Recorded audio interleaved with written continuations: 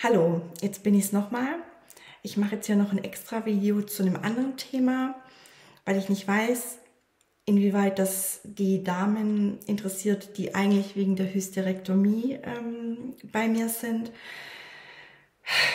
Ich hatte, bevor ich dann meinen jetzigen Gynäkologen endlich gefunden hatte, schon eine ganze Zeit davor das Gefühl, dass bei mir was nicht stimmt ich hatte immer mehr weiße Hautstellen unten ähm, im Intimbereich.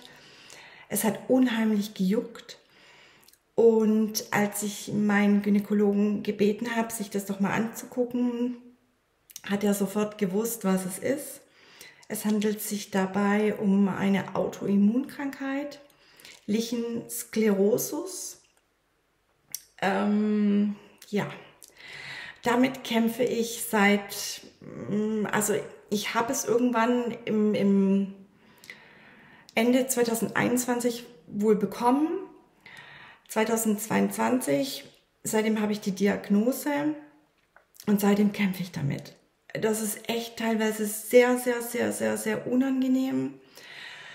Und ähm, ich habe dann mich eigentlich darauf verlassen, dass er weiß, wovon er redet er hat mir ähm, eine Creme verschrieben, eine mit, mit Cortison und dann halt normales Östrogen, eine Östrogencreme und hat gemeint, ich soll das im Wechsel machen.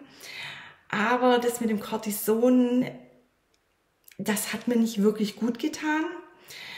Ich schmiere jetzt nach wie vor die Östrogencreme so nach, ja, keine Ahnung, so alle drei, vier Tage, bevor ich ins Bett gehe. Und den Rest überbrücke ich oder ich schmiere eigentlich die ganze Zeit Zinksalbe drauf, weil nichts anderes wirklich hilft. Und dieses Zink, das fühlt sich gut an, dann ähm, geht es mir besser.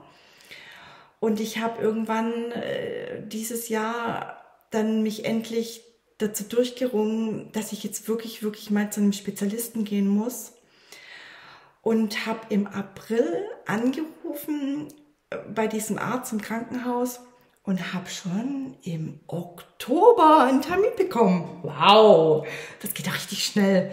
Na, anscheinend ist das normal. Ähm, ja, bei mir verändert sich da unten gerade so viel und ähm, es tut auch oft weh. Es reißt oft ein, es ist super unangenehm und ähm, ich brauche jetzt wirklich jemand, der sich richtig damit auskennt und wollte das an dieser Stelle auch einfach mal erzählen. Vielleicht gibt es ja auch Interesse dafür. Im Oktober kann ich dann mehr dazu sagen. Ja, keine schöne Sache. Vielen Dank für eure Aufmerksamkeit und ganz liebe Grüße.